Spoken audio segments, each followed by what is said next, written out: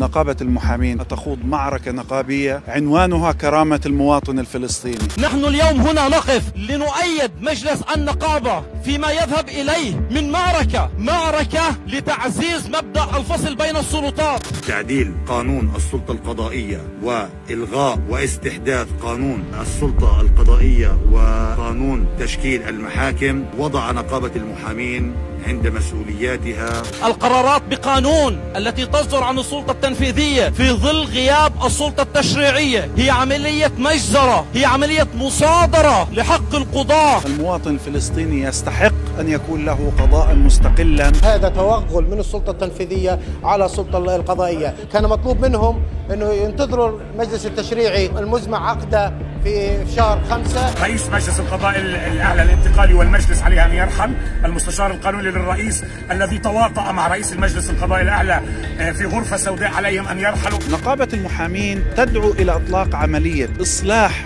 واسعة للمنظومة القضائية. ومجلس نقابة المحامين سيستمر بالاشتراك مع كافة المؤسسات الحقوقية لكبح جماح هذه القرارات بقانون وإعادة العزة والحرية للقضاة ولن يكون أحدا سلطانا على القضاء الفلسطيني